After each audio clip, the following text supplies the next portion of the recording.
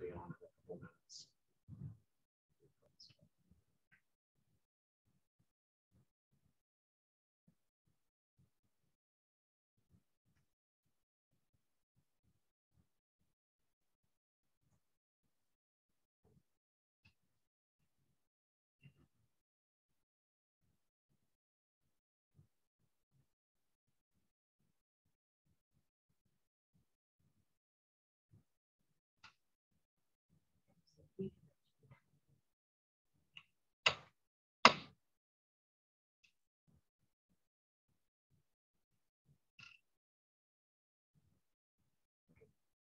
Good afternoon, everybody.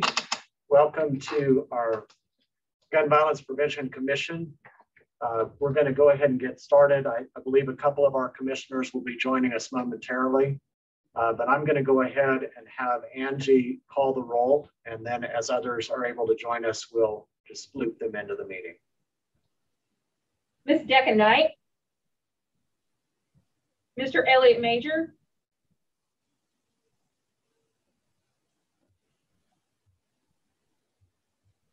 Here. Mr. Joe Cobb, Here.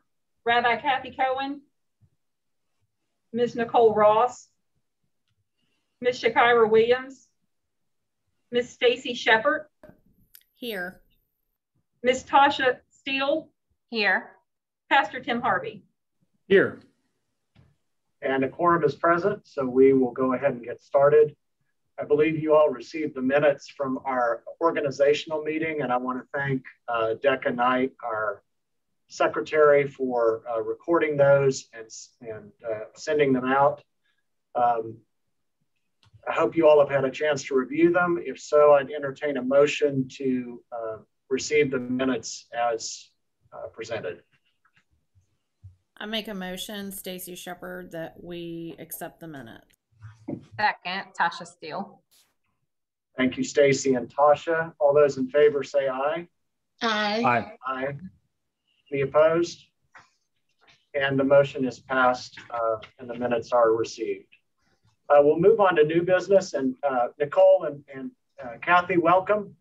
Uh, we, we jumped on the roll call before you joined us, but we're glad that you're here. No problem. We count you all as present, so thank you. Um, First thing we're going to do this afternoon is just do spend a, a brief amount of time getting updates on our working groups. Um, we, we do this on a regular basis, but I think it's important for uh, the public to know uh, what we're working on.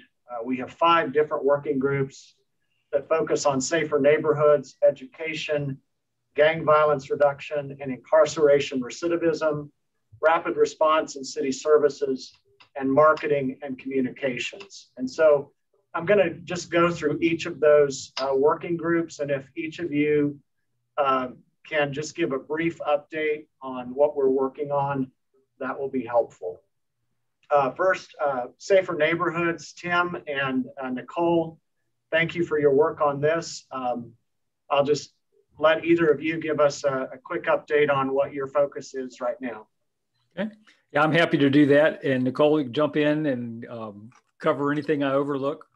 Um, our, our subcommittee has three tasks ahead of us, uh, probably chronologically. Uh, well, we've already completed the Little Blue Truck uh, book reading. And, and I think the next task with that will be to, to continue to work to get that into Roanoke City Public Schools classrooms. Uh, COVID has been a, a, barrier there, as it has with so many things of our lives. And so I, I, especially think for next fall, we'll be in good position to, to have that resource available. Um, then we are looking at a, a, what would be a second memorial service for victims uh, of gun violence, but we don't want to, we recognize that there would be victims of other sorts of violence as well. Uh, and we would be looking at a, uh, an event, a weekend event in, in late July, early August uh, probably for that. parallel with the one that was happened in uh, time flies. Was that the summer of 2018 or 19? 19. 19. Um, along with that, then the construction of our mobile chalkboard. Uh, conceptually, that's easy. There's a few logistic things uh, that need to be worked out around that. You know, like who owns it in a manner of speaking to transport it from place to place and, and getting that scheduled. Uh, some of the logistics there, but as far as construction, it's it's a fairly straightforward piece. Uh, which is phase one of our uh, long-term vision for fostering community conversations. And then uh, it is time to, to really begin thinking about uh, this December's Bridging the Community Gap.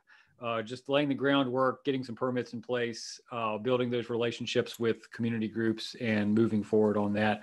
It's it, it won't be too long before we need to get that going in earnest.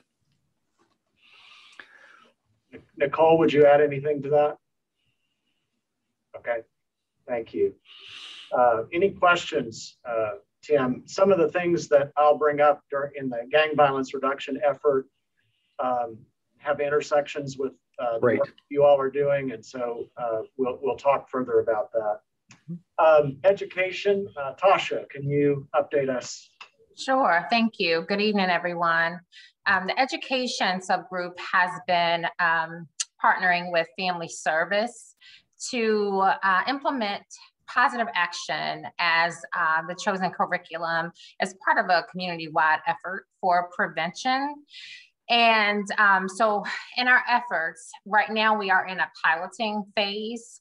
Um, that's four lessons with four different agencies, Boys and Girls Club, West End Center, Presbyterian Community Center and Community Youth Program. Um, we have gotten some um, preliminary feedback and overall the pilot has been favorable with a few irregularities. We are planning to administer a survey um, once everything is complete. And at that point, once we have the data from the survey, we'll make a decision about moving forward with positive action. And uh, so we'll hopefully um, soon be able to share more information on that. And we had um, a pretty robust conversation about the need to do um, more training, more trauma informed education training for our community. Um, Decca Knight, she's uh, the co chair with me, and a couple of other people on our committee are also tapped into the trauma informed community network and we've been doing some trainings in the community, but we really want to make this um, a true community effort. So, really going beyond the trauma basics and looking at ways that we can tailor this training for our youth and our families.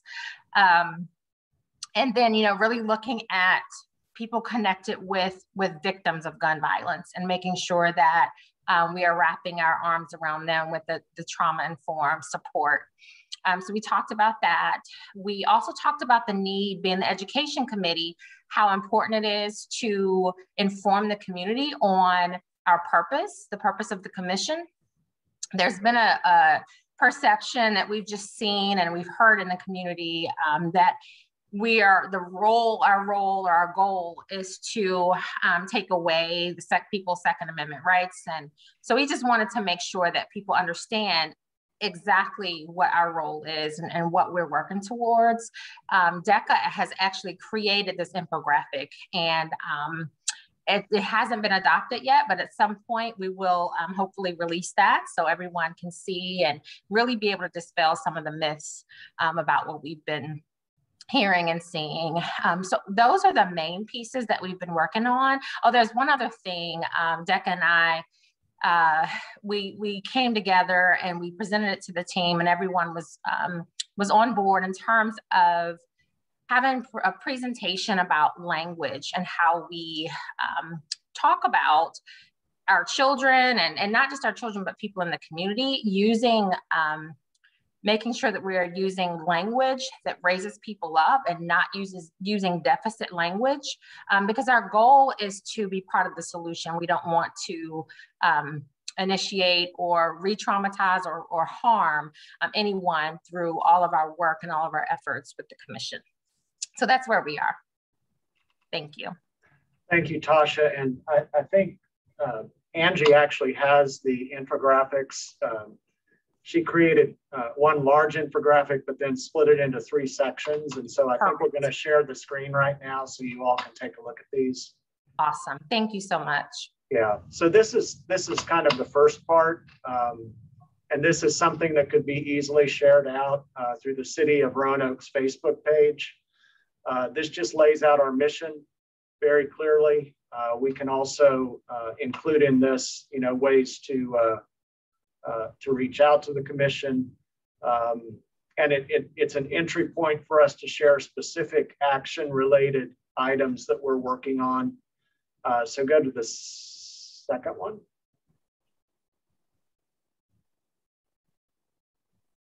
All right, I probably should have left that up a little longer, but so this is just kind of a recap of some current initiatives uh, that we're focused on. It includes the reset work, uh, the rapid response work that we're focused on, the, the public art project, um, the, the uh, pilot program that you just mentioned, the basic trauma training workshops, upcoming community outreach events, which will be part of our community youth assessment um, that we'll, we'll talk about further.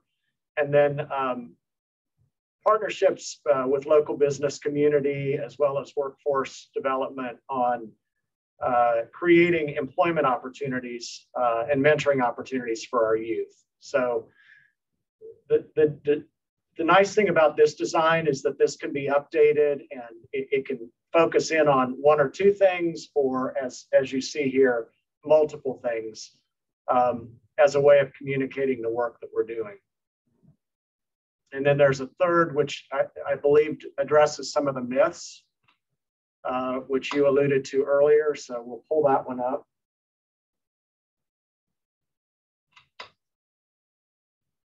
Uh, so these just lay them out fairly clearly. Um, our role is not to regulate gun ordinances in the city. Uh, the commission uh, does not influence legislative policy. We work on root causes that contribute to violence. Um, we are not an extension of law enforcement. We do support the work of our reset team. We uh, are partners with law enforcement in terms of uh, gathering the data and working together uh, to reduce violence in our community. We're all committed to that. Um, and then um, the idea that our commission's actions will be immediate and independent. Uh, the immediacy really has to do with uh, community support and, and how quickly we can generate and implement some of the, the plans that we're working on. But we recognize that if we're going to change systems, if we're going to change and shift uh, culture around violence and how to reduce violence, that is longer term and more complex work. And so I thought Decca did a really good job here of just identifying uh, some of the clear uh, concerns that, that we continue to hear and how to address those. And if you all, uh, as a commission, are supportive of these, we can start pushing these out as early as tomorrow uh, through the city's uh, Facebook page and other social media outlets. Are there, uh, after seeing those, are there any um, additional things you would add at this point or additional information we should include, keeping in mind that uh, if we send these out individually, we should probably have uh, some contact information uh, or where people can access more information about the work we're doing on the dedicated uh, image. Uh, Joe, I thought the language that um, Decca used was wonderful. Uh, the points very, very well made, succinct, easy to understand. Um, the only thing I would mention is very picayune, and uh, that is where it does have contact mem uh, contact information. It lists you as council member. I think that should probably be Roanoke City Council member just in case uh, this particular document ends up moving beyond our locale. Well, it, it, we could just change it to commission chair as well, which which would help address that issue. But that's a really good point. Joe, I do think these are, are fantastic uh, uh, graphic images and, and contain the information that we need to get out. I know when we, we last talked I can't even remember what converse what what group of this I was with. Um, but with our communications team, and and I know that the idea was pitched of uh, maybe doing some op-eds or articles with the Roanoke Times in collaboration there. And I, I can see writing an op-ed and, and, and seeing if, if they would even be so gracious as to include one or more of the images along with the, along with that piece. Um, you know, just, just throw that out there. I, um, only to encourage even, even wider distribution of a, a really great image. Thank you, Tim. Stacy? Um, the only thing that I would add, and again, this is really just kind of being nitpicky, but the language is wonderful. The message um, house is wonderful. It just feels really dark and heavy to me. So, you know, if we're trying to express something and get people to look at it, sometimes a dark image of that nature is not going to bring someone to really view that. So um, it just feels heavy. Okay. I think that's I think that's wise. Uh, you know, one of the things we want to focus on is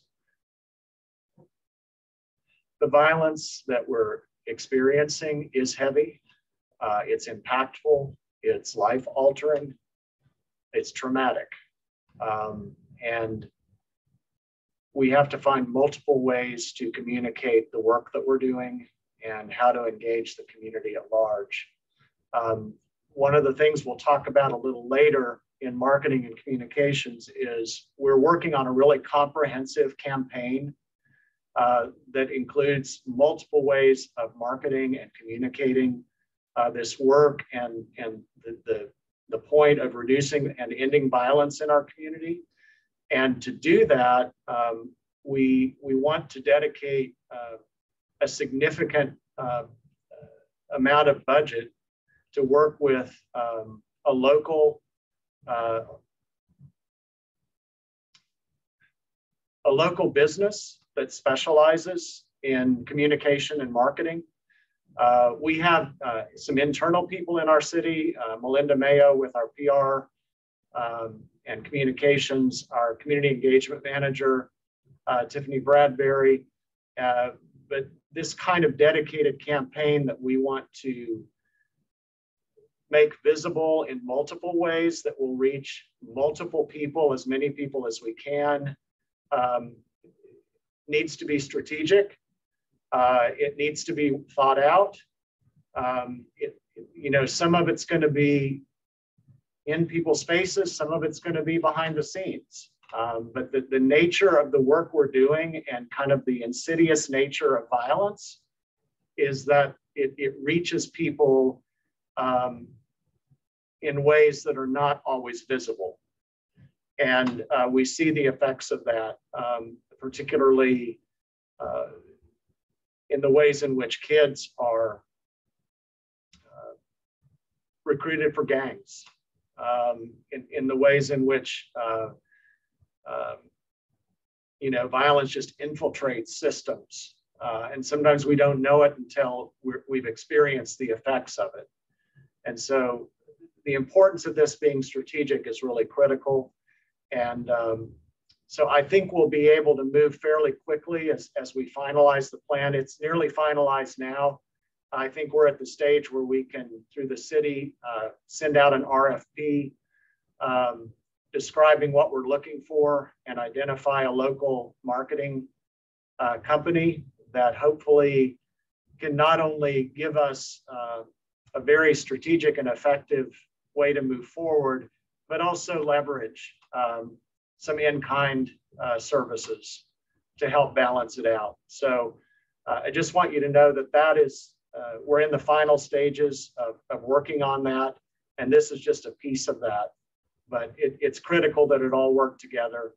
But I think the, the focal point of this infographic is to get information out now about what we're doing and to let more people know what we're doing and how they can work with us um, to reduce violence. So I, I think um, we can incorporate those changes pretty easily.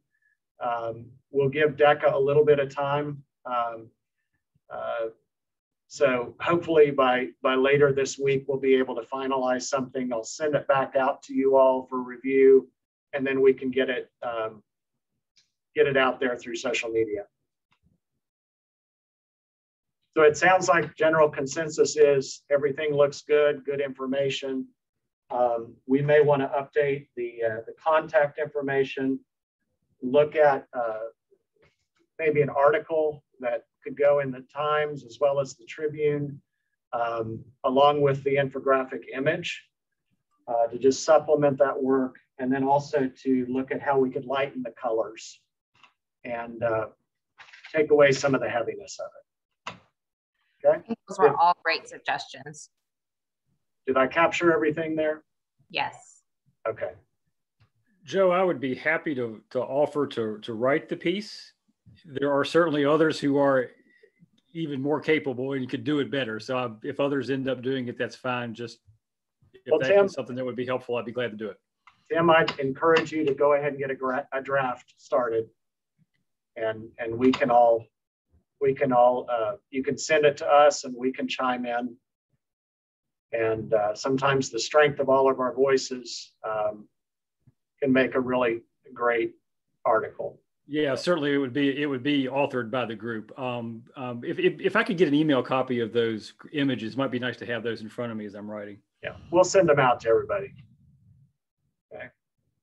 All right, well, that was, uh, the other thing I wanted to say too is that I know, um, Tasha, we've reached out to, uh, Roanoke City Public Schools in regard to, um, the, the effort that was done a couple years ago to, to, to revise the effort around locked, locked guns, uh, save kids and the accompanying, uh, letter that went out to parents just to encourage parents to sign on to nonviolence. Um, I, I haven't heard definitively when that may be sent out. Uh, I know that uh, I was part of a conversation where there was some thought about whether to do it now uh, with SOL testing happening right now. They're, I, I think they're trying to figure out when is the best time to do that. Is that your sense? Yes, it is. And I'll get clarification on exactly when that's going out and report that back to the team, to the committee. Thank you. Thank you. All right, uh, gang violence reduction and incarceration recidivism. I guess that's me and Elliot. uh, we have been working really hard on a comprehensive uh, gang reduction model.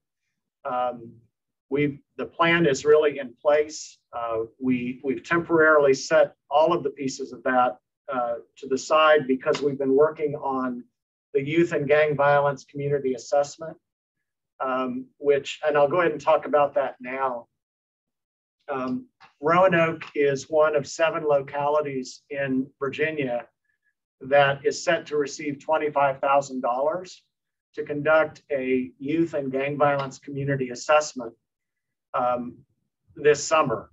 Uh, we, we will have between the time we receive the funding until the end of September to conduct that uh, assessment. Uh, as part of the uh, documentation that we sent in, uh, we'll be working with either an individual consultant or an organizational consultant to help us um, create all of the steps for doing that assessment and making it as comprehensive as possible. Uh, I think the, the first and, and, and key voice that we want to hear is the voice of our youth. Um, and not only our youth, um, you know, as, as young as elementary, but particularly in middle school and high school where we're seeing the greatest impact, but also our young adults. Um, as we look at the data, uh, we are very clearly seeing that uh, victims and offenders are falling in the 12 to 29 age range. Um, and disproportionately, we're seeing it among African American males. Um, so these are, you know, we want to hear from as many youth as possible, but we also want to make sure that we're reaching out through trusted mentors, uh, relationships that are focused on trust and that are safe places for the youth to, um, to share information.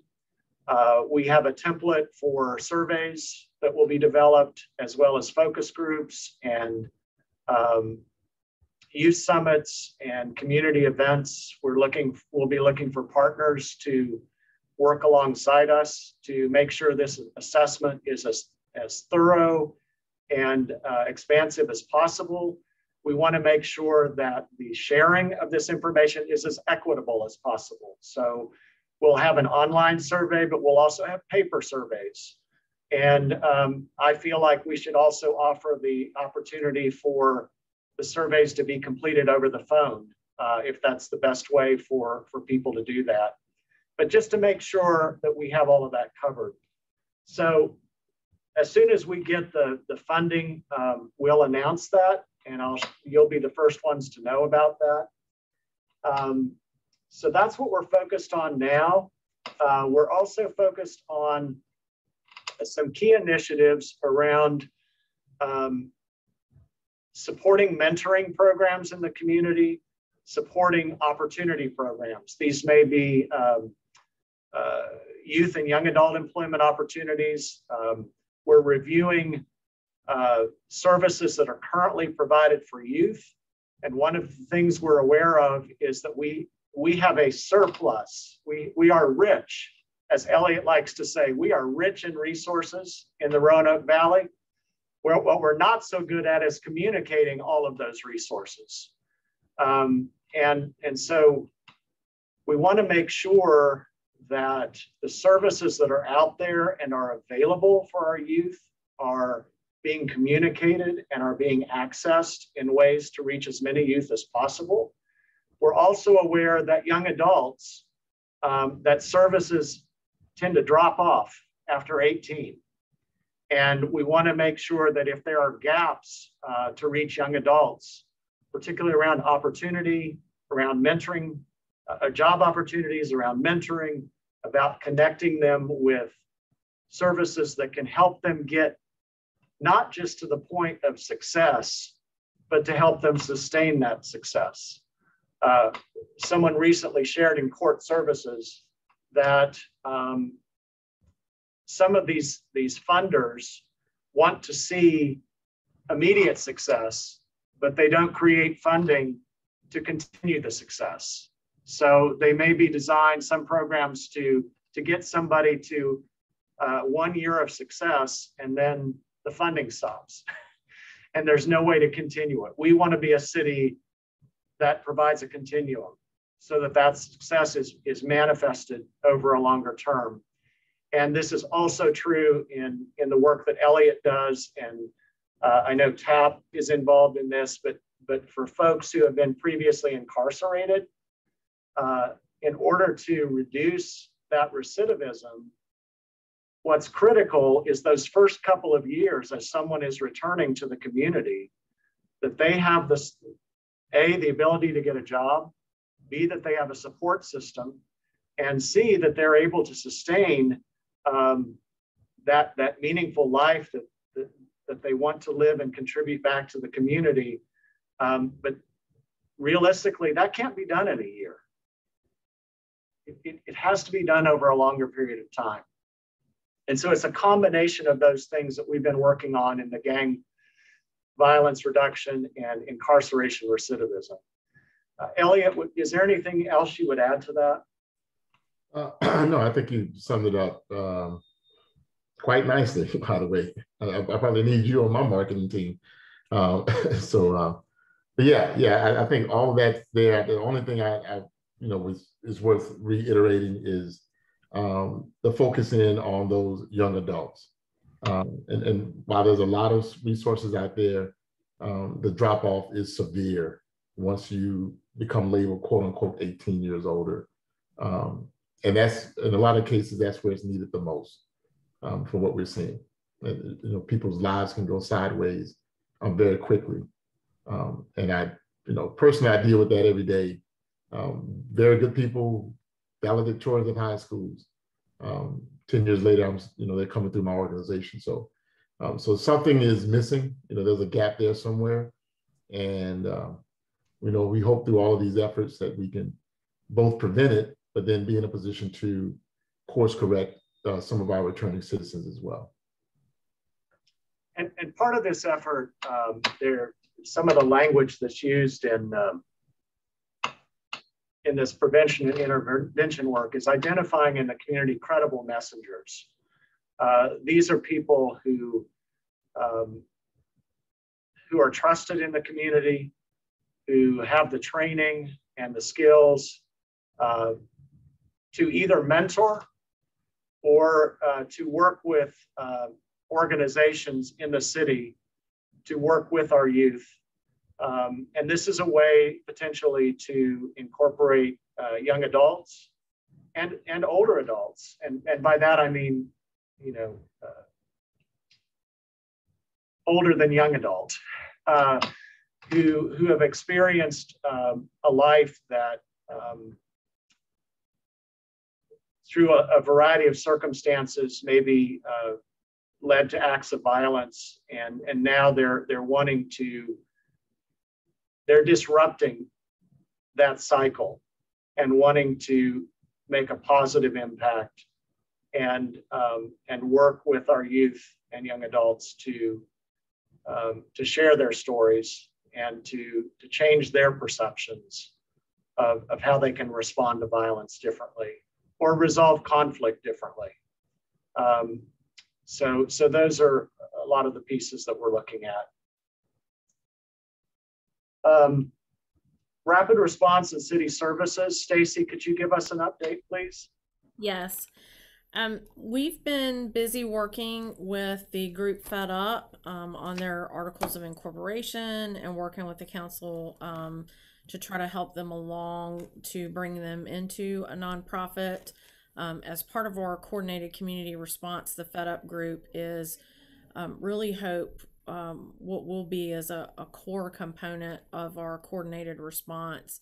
These are family members and community members who have themselves suffered um, a loved one or a friend to gun violence. And so, as part of our coordinated response team, um, those members and those um, uh, folks from Fed Up understand that process and what's to come afterwards and the the things that are needed and so we really want to help them along so that they can help us coordinate this community response the next thing i'll say is that um, aside from that we've really just been busy the last few weeks um, meeting the needs of the community so some of the members on the working group for the coordinated response have really been responding to the emergency needs of the community um, due to the recent uh, deaths that we've had um, and the gun violence that we've had. So it's really been about us um, meeting the needs of safety first and foremost, sheltering if that's become necessary, food, um, emotional support, advocacy supports. And so a lot of that is really what's been happening over the last couple weeks for this working group is just responding to the sheer volume of what's been happening in our community, um, which has derailed some of our other work and plans. But again, that's that's what we're here for. That's that coordinated community response. The one um, plug that I would give to all this is that it is essential um, for us to grow that team and grow that community response team. And we can't do this work with just a handful of people.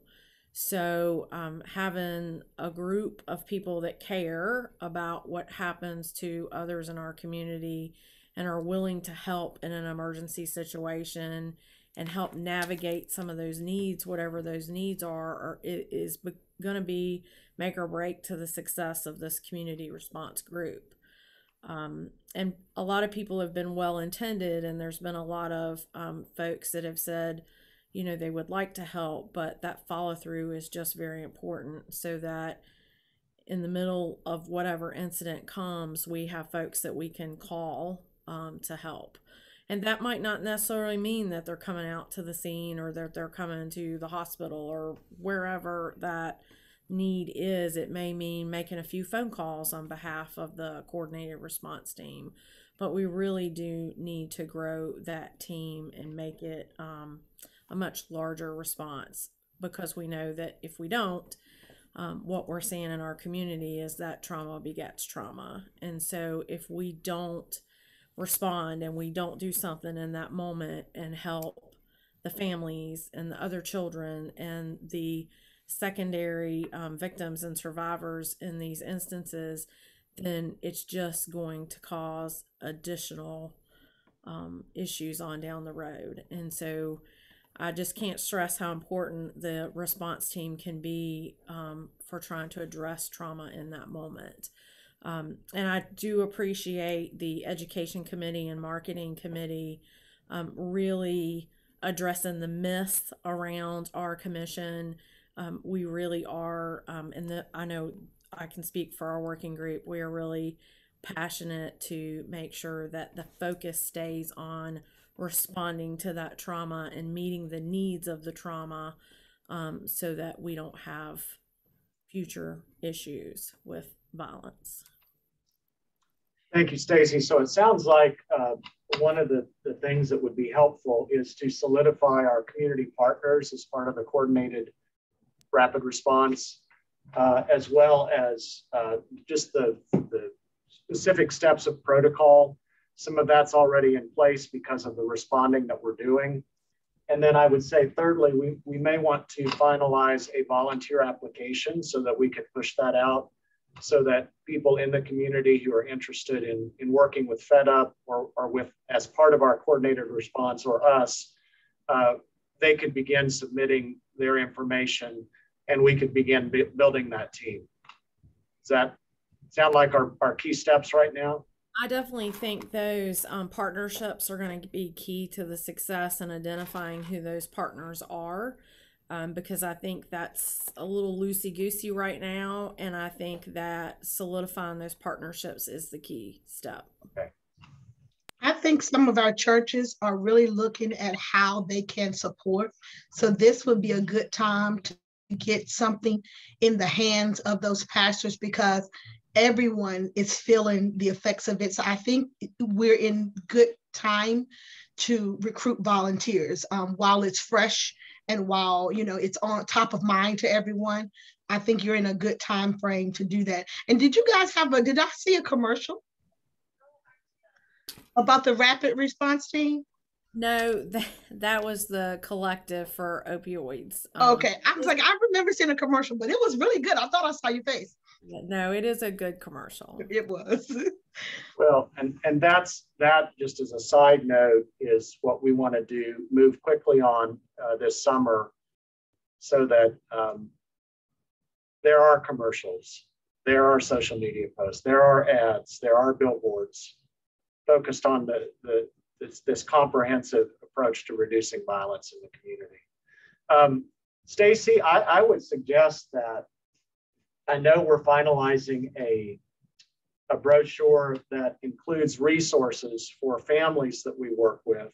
I'm wondering if we could also develop a simple one, one sheet that describes how people can be partners with us in this work. So if, if you're a, a faith-based organization, here are the expectations. Here, here's what you can do. And then, and then as Nicole said, the congregations can identify this is realistic for us. Maybe this one, this piece of it isn't, but this is a way we can intersect. Um, I, I think that would be helpful. I do too, and I'm happy to work on that invitation um, to folks to join our response team. Great. Thank you, Stacy. All right. Um,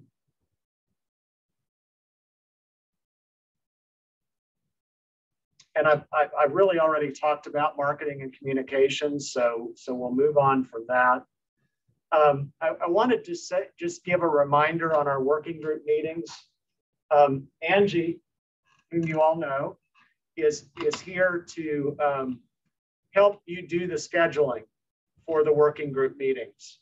Um, it, it, when at all possible, it, it helps us if she can be involved in that, she can automatically get those meetings on the city's calendar. Um, if we want to do alerts about the meetings or share information, she can easily do that. She can help uh, make sure that agendas are prepared and, and minutes collected so that then those can be archived on our webpage on the city's website. Um, she has a list of all the working group members so I would encourage you to utilize her willingness to help us. Um, I know that the Education Committee has met. I know that uh, the Gang Violence Working Group uh, has met. I know that Safer Neighborhoods is, is trying to, to set up a meeting. So um, Stacy, for you and um, uh, Tasha, uh, just please know, everybody know that Angie's here to help facilitate that. And, and that can take some things off your plate in terms of trying to reach out to folks and find the best time to meet. So um, I'd encourage you to connect with her and um, uh, she's here to help us. Thank you. All right, we'll move down to funding updates. Uh, we've got uh, a lot of, this is kind of the, the second heart of what we're talking about tonight. Um, one of the things that we are hearing from the community is so many people you know, want to see something happen right now. What can we do right now? Um, and, and this is true every time there's an incident. I, I can tell you all from, from when I really began to invest myself more fully in this a couple years ago, um, every time I hear of an incident of gun violence, I just, I break because I'm thinking about the person who was the victim, the person who was the offender, the family, the, uh, the peers, uh, the neighbors, the city. Um, certainly in, in, in cities that are larger than ours, um, the number of, of cases of gun violence and violence in general is larger. The numbers are bigger. But I can tell you all, and you all know this firsthand, the impact in Roanoke is substantial. And um, so in part of our effort, we, we want to do what we can in the short term, but we also want to see in the long term uh, the effects of, of our work reducing gun violence and in, engaging the community in that. So once we get the funding, um, we'll and that should be any time. Uh, we'll, we'll be moving ahead with the Youth and Gang Violence Community Assessment. Uh, we have a grant writing team uh, that is working on a uh, gun violence intervention program grant through the state. We are one of the localities that's eligible to apply for this because of the General Assembly uh, legislation and funding. And we would directly use our findings from the community youth assessment in uh, these prevention and intervention efforts. So I wanted to just tell you briefly, we're, we're meeting again this week to finalize the grant. Uh, I'll send it out to you all so you can take a look at it before we, the deadline is uh, Monday the 17th. So we'll want your input uh, on it. But there are several things that we can ask funding for in this grant.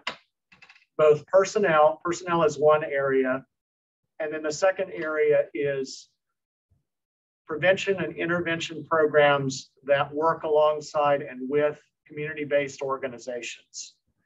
So under personnel, at this point, we are asking for a full-time, we're ask, actually asking for three full-time positions in personnel. One is a youth and gang violence prevention coordinator for the city. We are also asking for two street outreach um, personnel that would work both with this youth violence prevention coordinator as well as the reset coordinator.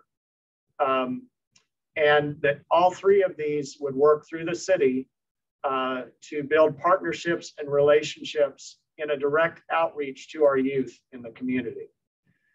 Um, under the uh, prevention and intervention, we're looking at kind of five key category areas, and I want to share those with you now.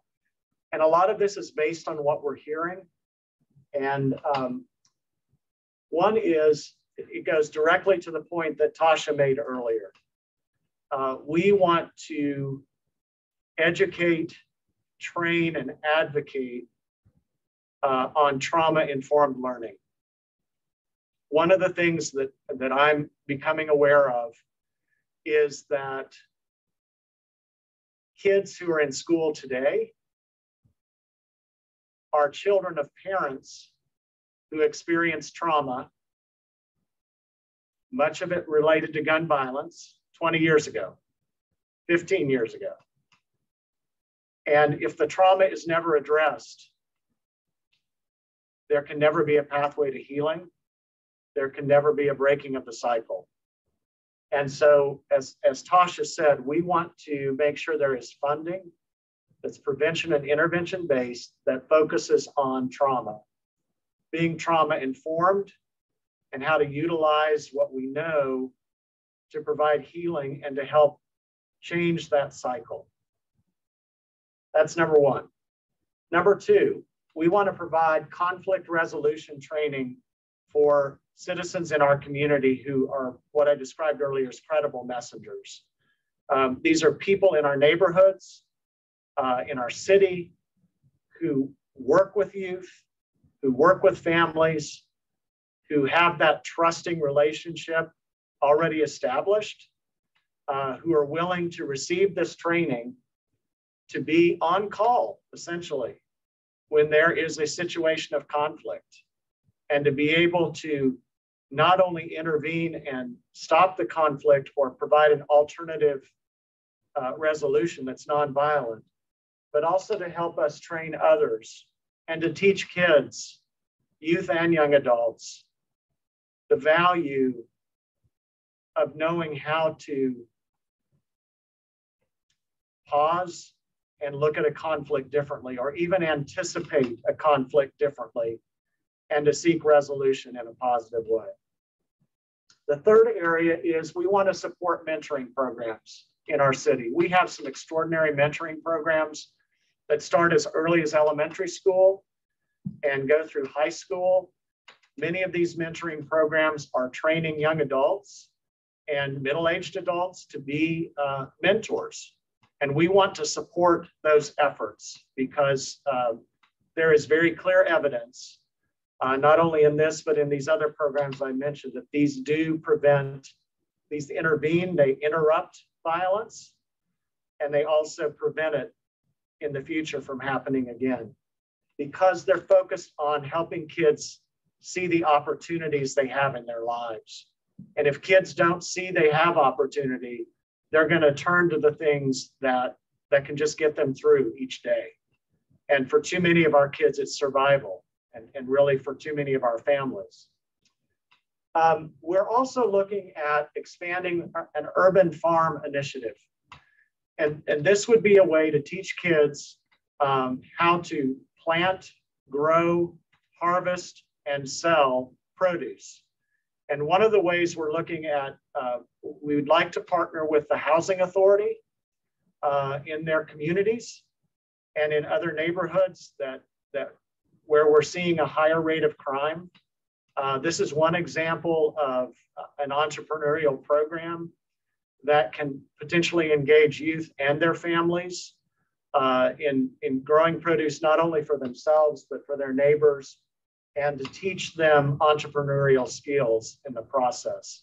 Now, there are multiple programs out there in our city that are teaching kids about being entrepreneurs, and we want to find a way to support those. But this is a very specific kind of initiative with multiple partners that we, be, we believe we could launch very quickly.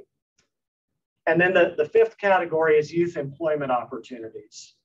And, and part of this is teaming with businesses, uh, with workforce development resources, um, with local uh, mentoring programs that are teaching entrepreneurial skills, but to to broaden the, the scope of employment opportunities that are available for youth and young adults, um, to provide structure, to provide uh, a focus, to provide income.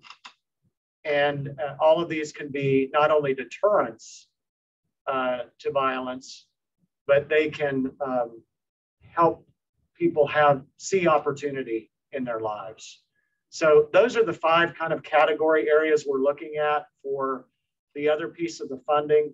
If we get the grant, it would be for up to $500,000, which would cover two years. So it'd be 250,000 per year. And it would be a combination of supporting the personnel the, the jobs that I mentioned, as well as the community-based organizations. So once that grant is, uh, the narrative and the, the, the, goals are finished up and we anticipate finishing those up Thursday, um, I will send those back out to you for you all to review and give your insights. But I, I wanted to share that with you and then see if you have any uh, initial feedback. Do those goals, uh, do those five areas sound um, like we're on the right track? Uh, do we need to, to rethink any of them? What are your thoughts? I love them. I, I, think they're right on. And I wanted to ask a question about the Urban Farm Initiative. Um, are you only looking to do that in the um, housing authority areas or are you looking for other spaces? Anywhere. There is a location that I know of that's open because that's where Goodwill, our mentoring program used to do a garden. It's right on Shenandoah. Um, it right where the um, what is it? What's the name of those? The Getty Mart, right there. That space is a great big open field. It's owned. The, the land is owned by Steel Dynamics. They don't care what happens up there as long as it's positive. The field is already um, there. The, we, we built a pavilion where there are picnic tables. The goal was to have a community garden, which we did, but Goodwill decided to do away with it after we lost the funding, which I'm still upset about. But anyway, that garden is there. Um, it just would need a little love and care. Nothing's growing in there now, of course, but the um, the fencing is already up, and that would be a great place to kind of rehab um, it, it would be great. It's a creek right there. I mean, it's just a wonderful location. There's a, even a produce stand there where you could st- sell from because that was there. That was the initial um, initiative of that program. So if you guys want to take a look at that space, I think that would be a great opportunity to bring some life back into that. And it's still right in the Northwest um, community. I believe that's right at the corner of 24th and Salem. Not the one not the okay. Goodwill Garden, but okay. it's up the street. It's up by Peters Creek Road, um, where West okay. Creek, West Creek Manor, I believe is Cherry Hill, the right. Cherry Hill neighborhood, and it's it's a wonderful space. Um, it's it it grooms you know family gatherings. It's a really nice space, so you may want to take a look at that. And it's it would just need a little bit of work to um get that back going. Great, great. Yeah, we'll be looking for locations. Um, at, that are easily accessible mm-hmm. by youth and families that live in the neighborhood. Yeah. Uh, we want it to be something that you can walk to um, from, from where you live and um, that is an outreach. It's an opportunity for, for events, as you said, for education. Yeah. And um, there, there are a lot of great community partners that are all, you know, are willing to, to do this kind of effort. And um, uh, as a side note, this this was a, a. I don't think he saw it as well. He did see it as a legacy, but but we lost him too soon. And this was kind of lifelong work of John Lewis. Um, so this this is a way to not only honor him, but to to remember those we've lost to gun violence and to do something that that honors their lives in such a way that it that it brings forth possibility and renewal. Any other uh, recommendations or comments on, on that before we?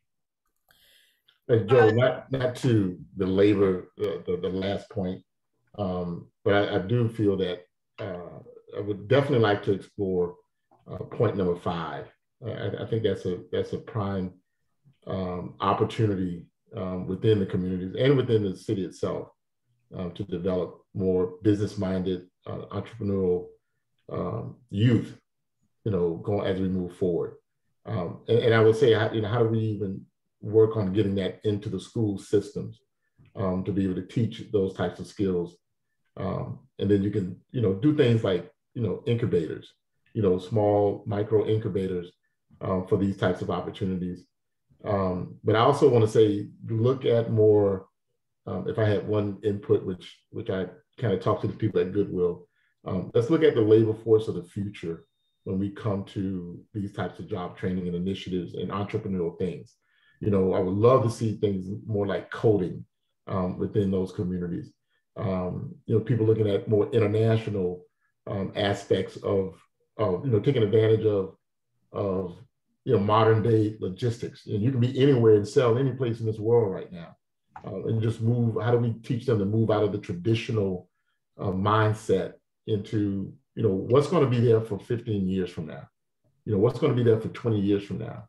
Um, and, and, and I, and I think that's, I think that's a, that of all the, of all the five that you talk about, um, I think will play in a, in a, very important part in changing the dynamics um, and the culture of some of our you know most effective communities. You know, and how, how do we teach that? You know, because you you know more people. If a child is growing up and they don't even know economics or they don't even know business or it's not talked about in their home, that's that's not a transferable skill that they're just going to pick up later on. You know I'm saying? People are groomed into these types of things you know, and so we got to figure out with our youth how do we groom that next generation uh, with that mindset. Um, and and I'll say this again and, leave it alone, um, but I would all, almost augment mentorship with sponsorship as well. I remember reading a, uh, I was doing a study. Well, I don't don't want to recap everything um, about uh, females in the workforce. And one book um, doing my research was find a sponsor, not a mentor. Um, and, and I think, you know, when we start looking at people and what we want to do with these youth, we have to find sponsorship, people who are willing, when you talk about long-term sustainability, you know what I'm saying? You, put it this way, the mentor can motivate you, the sponsor can enable you. And I, and I think we've got to think about businesses, people in this community who can literally sponsor segments to be able to make sure that they've got the resources education, um, and the support. Um, again, not year one, year two, or 90 days, but how do we keep them going over here? So if, you know, within that mentorship, um, I would like to explore that a little bit more. What does that really mean? How is that going to be created? Um, and then on the on item number five, um, definitely thinking about um, you know the future of business and what does it look like and how do we translate that back down to some of our youth now. Yeah, I, I think that's a really great point because one of the barriers that we see, particularly in communities of color, is a lack of access to capital. Uh, understanding how that works, how to build it, how to grow it. Um, it's all part of being an entrepreneur. Um, so I think that's a really good point, and and and I think um, I, I, know we have dedicated uh, people in the business community that uh, understand that and, and would like to be supportive of that. They're just looking for an opportunity to be supportive. All right. Um, so I want to move on to the, the, the, last major part here, which um, we, uh, in the current budget year, fiscal year uh, 2021, we have $75,000 um, dedicated to uh, the work of this commission. And uh, we currently have expended uh, $500 for the production of the Little Blue Truck video, which will go into the schools. And um, we approved funding for the Positive Action Curriculum Pilot Program, but because that was already covered under some uh, already existing funding, we don't have that as an expense. Um, we uh, need to approve tonight uh, as part of the overall package. Um, I've been working with Decca to schedule two basic trauma training seminars um, that will be offered this summer. Uh, we can, the total to do those is $1,000, so 500 for each. Those will be you know, community-wide. We'll send out information about how people can register for that. Um, so that essentially leaves about $73,500 for our consideration and how we want to uh, expend these dollars. And there are a, some, a, number of things I'd like for us to consider. Um, I'm just pulling up my, my notes on this. So bear with me a minute.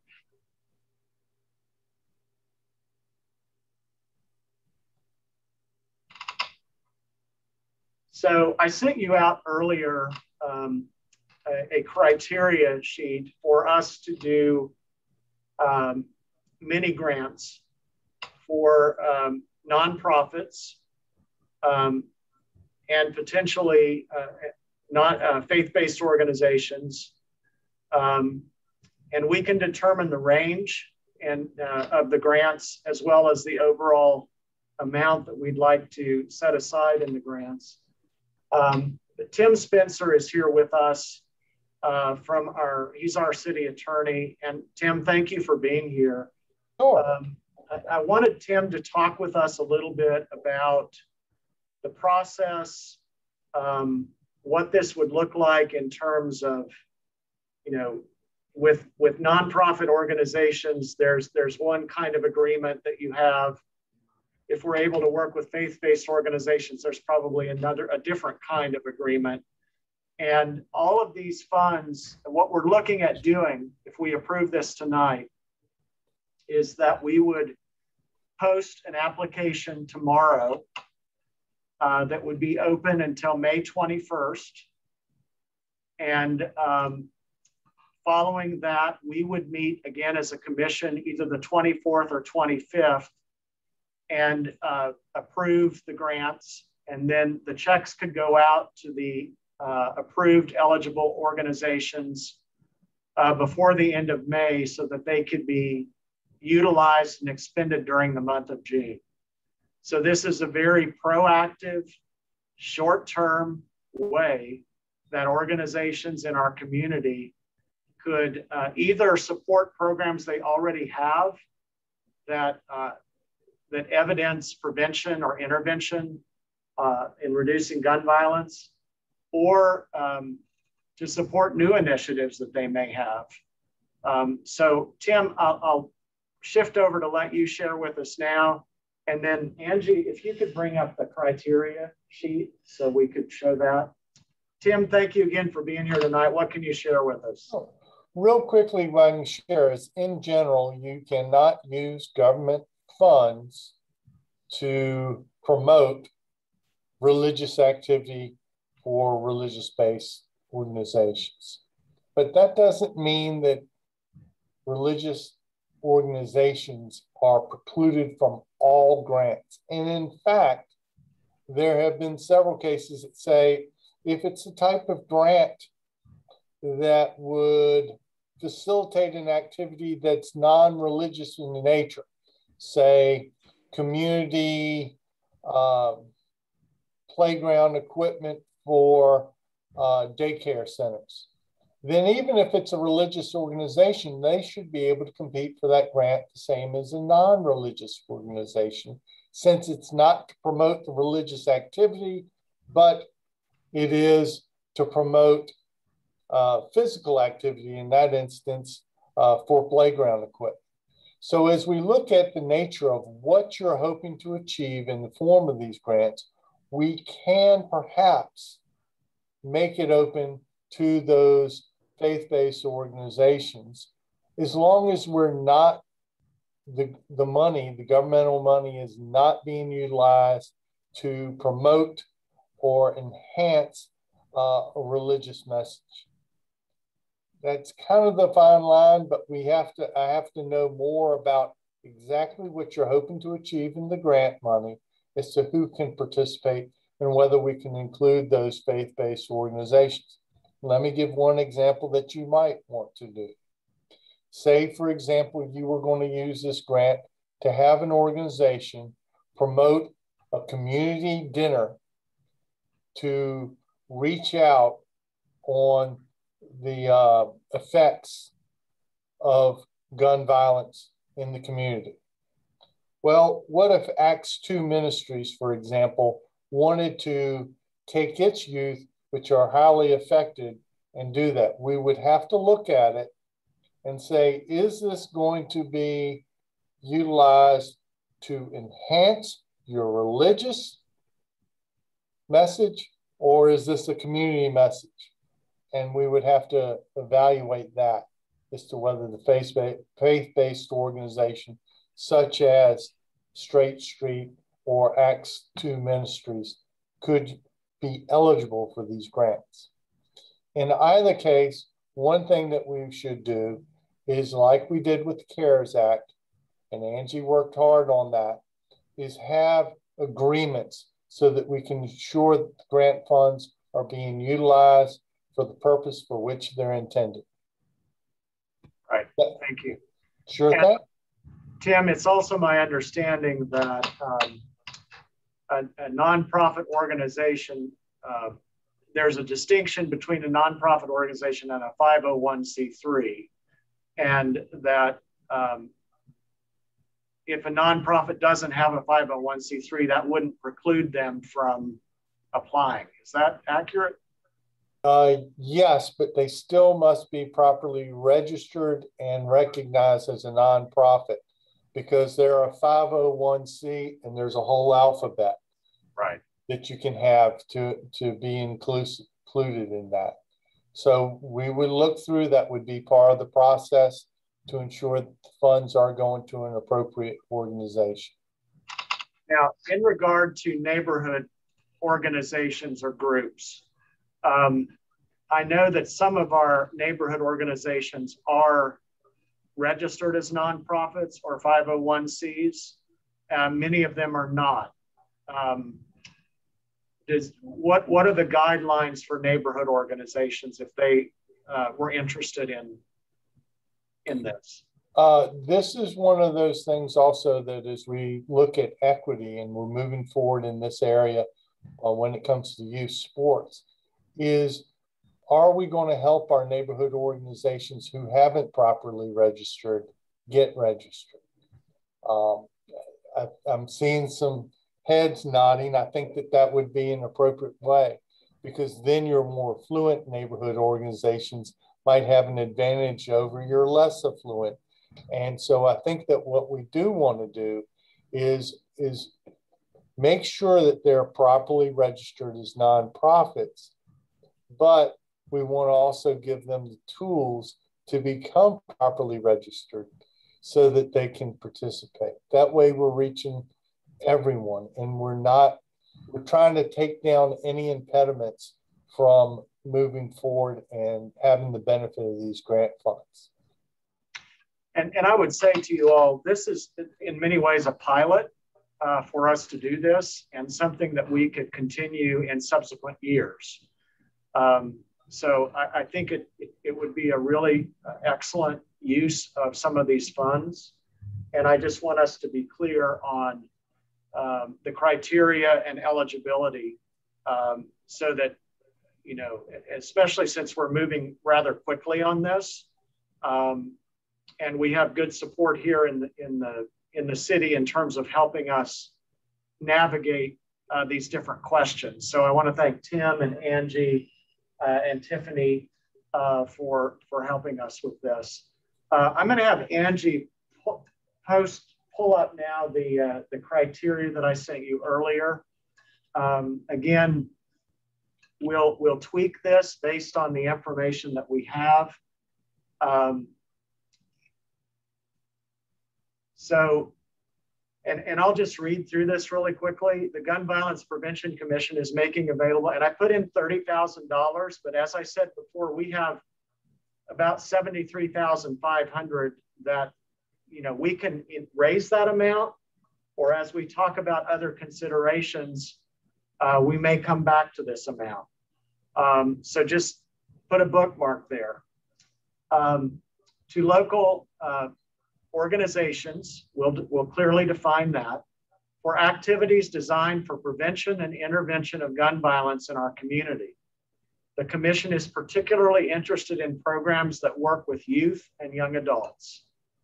These funds will be distributed in grants of up to, we can do a set amount or we can do a range uh, and give the organizations opportunity if they have, you know, give them some flexibility in that range uh, for activities during the month of June 2021. Prevention and intervention efforts may include mentoring, education, conflict resolution training, uh, scholarships uh, to existing programs, programs and events.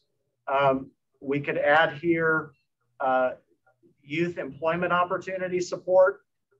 That, that's another category. This is just to give potential applicants uh, an idea of what we're looking for. Uh, the eligibility uh, would be they must be located within the city of Roanoke and be nonprofit. Uh, and I suppose here we could say 501c or registered in good standing with the Commonwealth of Virginia, the city of Roanoke, and the federal government. I don't know that we need federal government here. Um, some of this language I pulled from the CARES Act funding.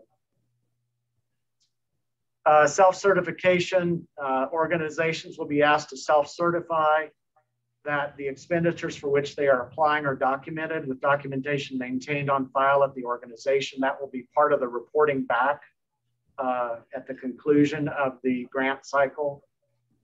Um, the deadline for when applications can be received and what they will need to upload, and then the contact information uh, with further questions or additional guidance.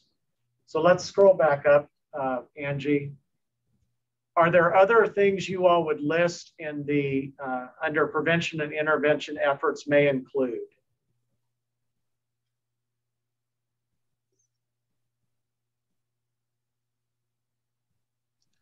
Could we, in, I see you said conflict resolution training.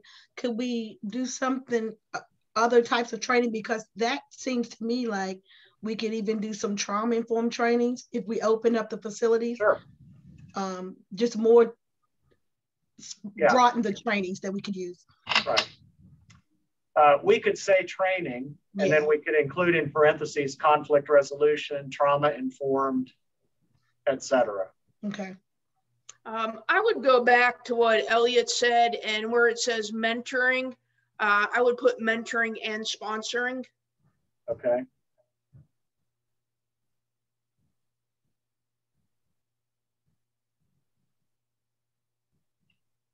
And I also wonder, in terms of training, it, it's a little bit hard if they have to use the money in June, but if it's throughout the summer, if uh, that could not include some employment training as well. The challenge with this funding is that it has to be expended in June and it has to be reported by the end of June. Okay that that unfortunately is the uh, uh, are, are the stipulations. Now, because this is a pilot uh, going forward, we could do this kind of effort earlier next year, and it could be throughout the year. Yeah. Okay.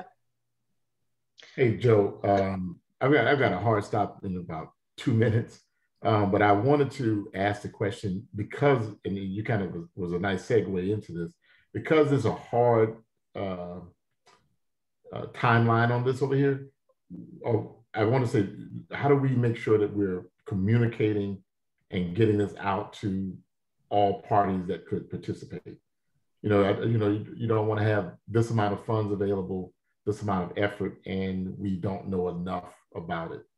You know, and I just, just my point of just making sure that we can communicate this as quickly as possible because these are some tight timelines both in the application submittal process and the time that you have to utilize the funds? Yes, so that's a great question. Um, in addition to social media, uh, we will submit this to both newspapers um, so that they have the information. Uh, we will, um,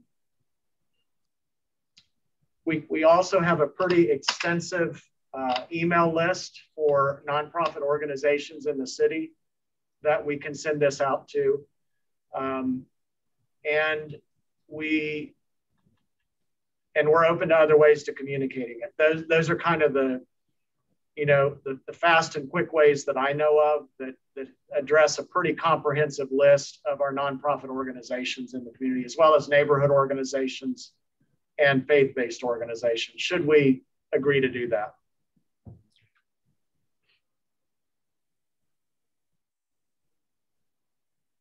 this could be a good conversation, um, Tim, if we could communicate it.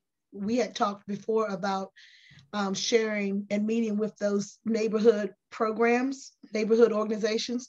If we could get that list that we have been working on and, and share it with that list, I think we could reach those neighborhood organizations if we decide to incorporate and include them. It certainly could, yeah. Well, and and we can work with Josh Johnson, our neighborhood services coordinator, to get the word out to the organizations if if if we want to include them in this cycle. Um, I, I, like uh, Tim Spencer's idea of empowering uh, neighborhood organizations to become registered uh, and, and, and supporting funding for that. Um, but, but this, as, as we said, is a very uh, a very quick turnaround. Mm-hmm. So we want to we want to reach. I, I, think in part we want to reach out to organizations that are already doing some of this work and support them in their efforts and uh, encourage them to include an educational component in what they're doing uh, that addresses reducing gun violence. And to um, speak to what Rabbi said, I believe that I don't think it's too short of a window to do the youth employment training because we do have time to catch them before they get out of school. We could put that information out and do some type of a um, you know summit or something quick where i know when i was at goodwill we were able to do those summer employment trainings in the month of may to get them employed in june so i that is something that i think is is possible. It's feasible, right? Okay. Yeah.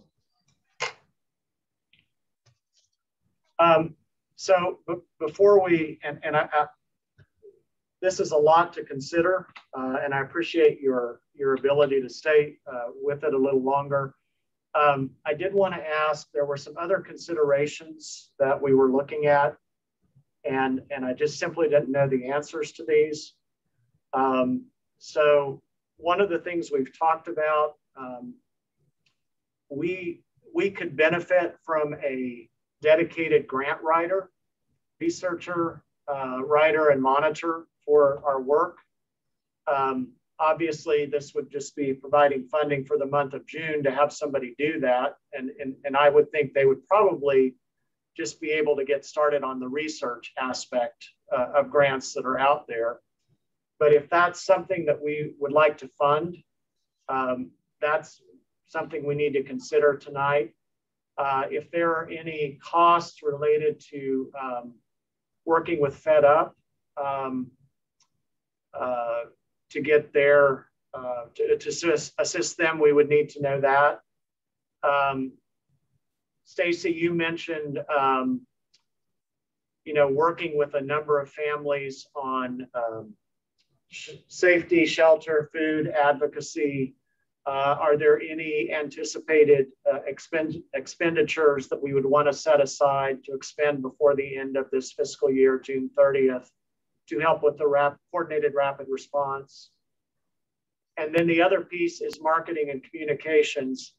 I, I'm, I'm realistic enough to believe that even if we craft an RFP uh, to connect with a local marketing firm. Uh, we're not likely to have any kind of comprehensive rollout of a campaign by the end of June. I just, I, am not sure that that's realistic. Um, so that could be funding we could dedicate in next year's cycle of funding. Um, but we could activate something, you know, relatively soon in the next three or four months. So those, those are the things that I'm aware of as considerations. And I would like to hear from you all um, how much of this we want to dedicate to these quick turnaround grants, mini grants, and how much of this uh, we want to designate for some of these other areas. Joe, I'm just sitting here thinking that for a um, memorial service that we're talking about in, in July, you know, it's always a question of what we ask people to volunteer their time for and what we, you know, try to compensate through an honorarium for. Um, and that can get a little ticklish. But I, I, know, you know, finding musicians and things in summer, sometimes you can find people very quickly, and sometimes it's it's a little hard. So I don't know if this would be a place to talk about that, or um, would, we would not need a great deal of money, but um, something to consider. Yeah, we when we did this the event in 2019, I believe everyone volunteered their time. Um, the the school volunteered their space, um, essentially donated their space. Um, right. So, but I do think if we wanted to set aside some, again, this would need to be expended by the end of June. So even if it was for an event in July or August, if it was utilized for uh, facility, um, you know, reserving facility space, um, you know, solidifying uh, speakers, um, and and providing honorariums. Um, I, I, would say, I, you know, we could set aside five hundred dollars. We could set aside a thousand dollars. Mm-hmm. Uh, I don't know that it would need to be any more than that. I, I would agree. Um, spending again, spending it in June might be the. Uh, yeah, that's what we're up against here. So. so I know, I understand. I understand. Yeah.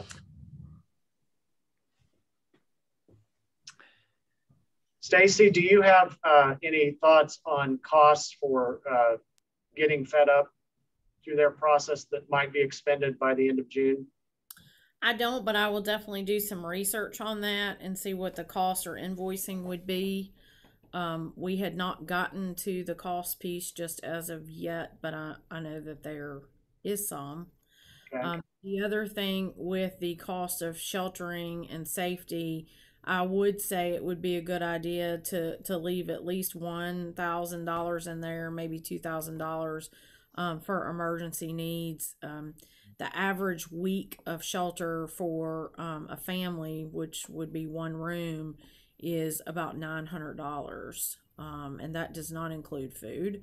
So I would say at least you need to look at a thousand dollars, um, maybe two thousand dollars. You know, if we have multiple incidents like we've had lately. Okay. And uh, what about uh, contracting with the grant writer? Is that something you all would like to see us pursue in June to get started in that process? Yeah, I think, I think that's necessary. Yeah, for us to continue, um, like Nicole said, it's going to definitely be necessary. Mm-hmm. Okay. And then the other area was um, Marketing. Marketing.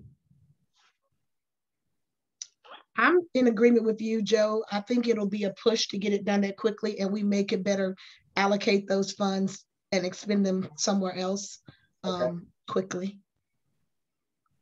So what I'd like to suggest then is that we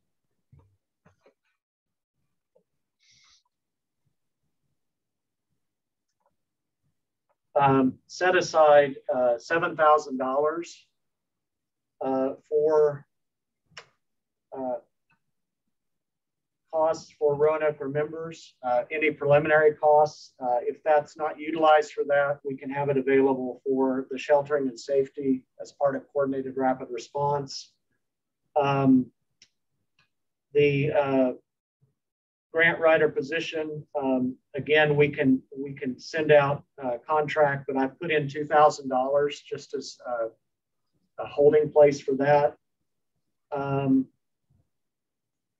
and then uh, what whatever the costs are for Fed Up, which which I think would be, you know, we could put a thousand in for that just to have some buffer.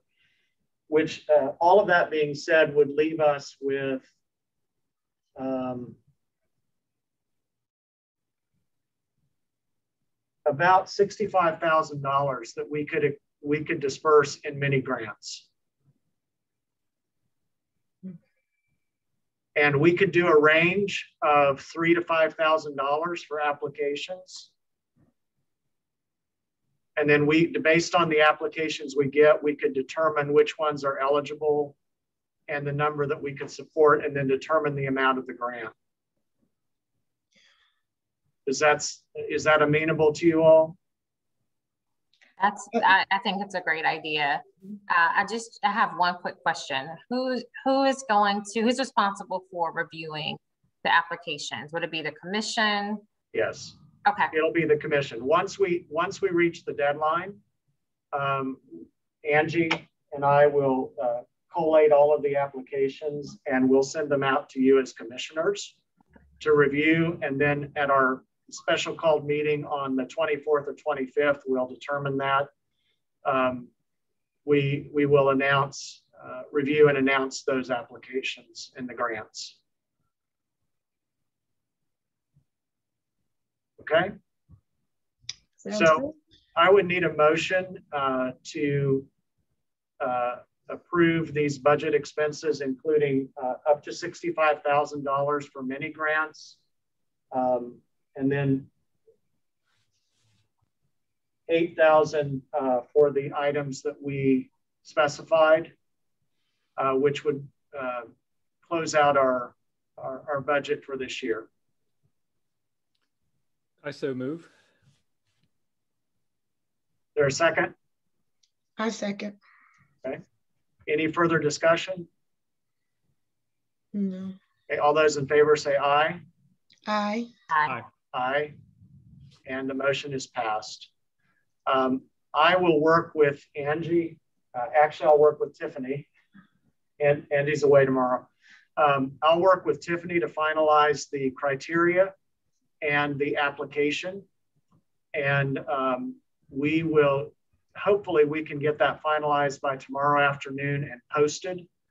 And we'll, we'll look at the multiple ways of posting that and sharing that information out to the organizations.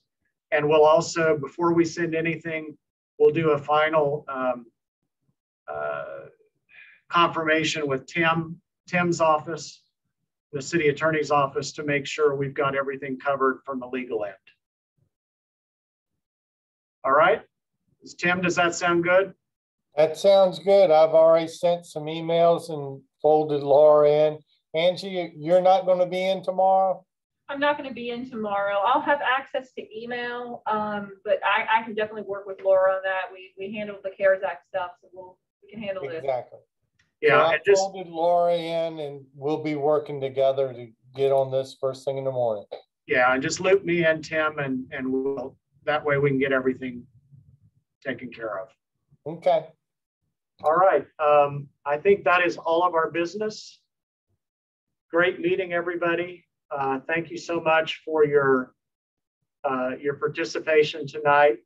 Our next commission meeting is scheduled for Tuesday, June 8th at uh, 5:45 PM. Uh, we will have a special called meeting the week of the 24th, and I will reach out to you all to determine which of those days will work best for everybody. All right, All right. all right. Our meeting's adjourned. Thank you all. Thank you. You.